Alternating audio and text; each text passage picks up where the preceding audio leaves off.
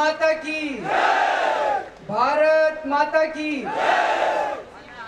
साथियों, मैं भाषण देने नहीं आया, लेकिन कल जो मीडिया के साथियों के साथ बदसलूकी हुई, उस पर बस दो मिनट के लिए अपनी बात रखने आया हूँ।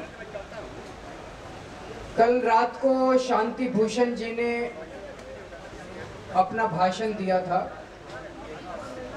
उन्होंने यही कहा था कि यहाँ पे जितने मीडिया के लोग, रिपोर्टर्स कैमरामैन रात दिन मेहनत कर रहे हैं, ये अपनी खबरें भेज रहे हैं, लेकिन मीडिया के मालिक जो हैं, वो उनको नहीं चला रहे हैं। उनको अब सोचना पड़ेगा कि वो किसके साथ हैं। उनके ये बात कहने से, उनके ये बात कहने से यहाँ पे कई लोग भड़क गए और उन्होंने मीडिया के इन साथियों के साथ बदसलूकी की। मैं उस बदसलूकी के लिए माफ़ी माँगता हूँ।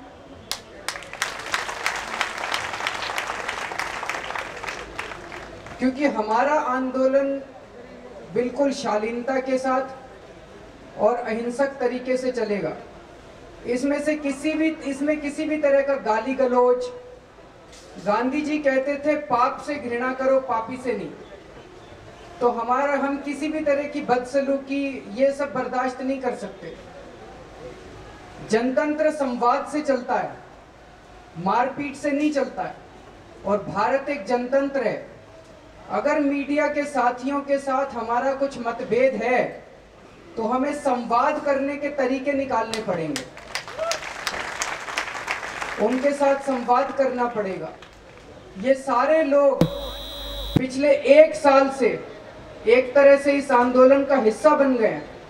जाने पहचाने चेहरे हैं वो शरद खड़े हैं एनडीटीवी से रीमा खड़ी हैं आज तक से और बहुत सारे जाने पहचाने चेहरे हैं।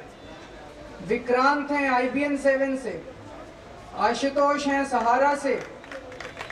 ये सारे जाने पहचाने चेहरे हैं ये आंदोलन का हिस्सा बन चुके हैं इनका कोई कसूर नहीं है। पर मैं ये ज़रूर कहना चाहूँगा कि इन सारे मीडिया के मालिकों को अब ये तय करना पड़ेगा कि वो देश के साथ हैं कि भ्रष्टाचारियों के साथ हैं। और मेरी आप सब लोगों से ये गुजारिश है कि इनके साथ हाथ जोड़ के बातचीत कीजिए। अगर आपके मन में कुछ प्रश्न हैं, अगर आपको लगता है कोई कहानी गलत दिखाई गई तो आप इनसे हाथ जोड़ के बातचीत कीजिए, लेकिन बदसलूकी मत कीजिए इनके साथ। इन लोगों का कोई दोष नहीं। इनके साथ बदसलूकी जो है वो गड़बड़ होगी। तो उसके लिए जो कल घटना हुई, उसके लिए मैं तहे दिल से माफ़ी माँगता हूँ सब लोगों से। और अन्ना जी इस बारे में दो शब्द कहना चाहेंगे। मुझे ये सुनकर बड़ा दुख हुआ। रात को यहाँ मेरे वाले के साथ किसी ने बदतमीजी की बुरे लफ्ज बोले। मुझे बड़ा दुख हुआ। हम बार बार कह रहे कि ये आंदोलन अहिंसा के मार्ग से चलना चाहिए। हकापई की हिंसा तो नहीं होनी चाहिए, लेकिन शब्दों की हिंसा भी नहीं होनी चाहिए। इतना समझना चाहिए इस आंदोलन को क्योंकि अहिंसा में बहुत शक्ति है, बहुत शक्ति है। अगर आपने हिंसा किया तो सरकार दो दिन में इन आंदोलन को तोड़ देगी। उनके पास ताकत है। कायदे है, कानून है। हिंसा में बहुत बड़ी शक्ति है। मैं अनुभव किया मेरे लाइफ में 25 साल से मैं आंदोलन कर रहा हूँ। लेकिन सामने वाले को कुछ नहीं कर सके। अहिंसा। अभी इनका क्या दोष है? अठारह घंटा मैं देख रहा हूँ कि यहाँ खड़े हैं। और हमारा आंदोलन भी देश के घर घर में पहुँचा किसने पहुँचा? इन्होंने तो पहुँचा है। घर में हर घर घर का बच्चा जान रहा है कि लोकपाल आना चाहिए। छोटे छोटे बच्चे जान रहे हैं। ये हम लोग तो नहीं गए उनके घर के घर के, घर में बताने के लिए। इन्होंने वो सब काम किया है।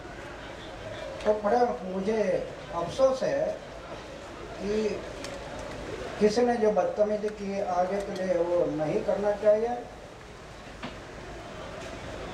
अगर उनमें कुछ कमी है, मीडिया में, हमेशा इस बात को सोचना है। सामने वाले कमी है तो अंतर्मुख होकर, हम सोचना है अंतर्मुख होकर कि ऐसा क्यों हो रहा है? मेरे में कुछ गलती है, मेरे में कुछ कमियाँ है, मेरे में कुछ उणिव है, ऐसा सोचना चाहिए। दूसरों को दोष नहीं देना। दूसरों को भी दोष नहीं देना। हम अंतर्मुख होकर सोचना चाहिए, ऐसे क्यों हो रहा मेरे में कुछ कमी तो नहीं है? इन बातों के लिए सोचना है। मैं ये सोचते आया मेरे बारे में जब जब कुछ होगा तो मैं उनको दोष नहीं दिया। कभी कभी मेरे ऊपर अखबार वालों ने अग्रलेख लिखे बद, बदनामी के। इलेक्ट्रिक मीडिया में भी कई बार मेरे अपोजिट में लिखा लेकिन मैं उनको दोष नहीं दिया। कभी दोष नहीं दिया। उल्टा जब जब वो बुलाते हैं चैनल में मैं जाता हूँ। मैं ये बात को नहीं देखता कि उन्होंने मेरे विरोध में बोला है विरोध में लिखा है। हम अपना अंतर्मुख होकर ये सोचना चाहिए, उनको दोष नहीं देना चाहिए। मेरी विनती है, सब भाई बहनों, आगे के लिए ऐसे बदतमीजी कोई किया तो मेरा आंदोलन यहीं पर रुक जाएगा, वो आगे नहीं जाएगा। मुझे ये ये मुझे मान्य नहीं है। तो आगे के लिए ऐसा कुछ हो गया। तो मैं यहीं पर रुक जाऊँगा। आंदोलन वहीं पर समाप्त कर दूँगा। मुझे बड़ा दुख होता है इस बात का। अरे लोकशाही को हमें मज़बूत करना है तो ये मीडिया और हम सब लोगों ने मिलकर मज़बूत करना है। एक अकेला मीडिया लोकशाही को नहीं मज़बूत करेगा, अकेले जनता मज़बूत नहीं करेंगी। दोनों को मिलकर ये लोकशाही का चौथा खंभा है।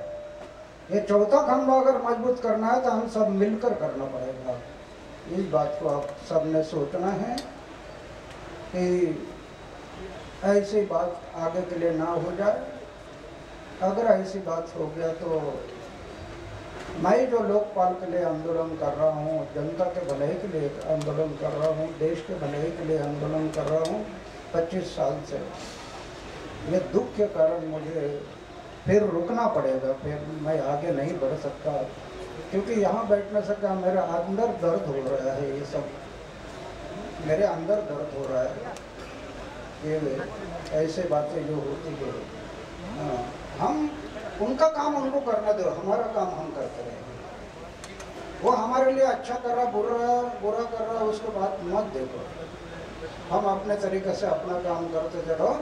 हमारे मराठी में कहावत है सज्जनाचे माप चाले वारे हती आप जो सद्भावना से कर्म कर, कर्म करते हैं हवा के माध्यम से वो फैलते रहता है फैलते रहता है। और जब हवा के माध्यम से वो फैलने लगता है तो मेरे को करना ही पड़ता है। लेकिन हम वो नहीं कर रहे बोल के हम गुस्सा नहीं होना मैं फिर से एक बार आपको विनती करता हूँ, और ऐसे कोई किसी ने मीडिया के साथ शरारत की हो, बुरे लफ्ज के बोले हो तो मैं उन उन, उनके तरफ़ से मैं आप सबकी माफ़ी माँगता हूँ वीडियो की, और मैं अपेक्षा करता हूँ कि आगे के लिए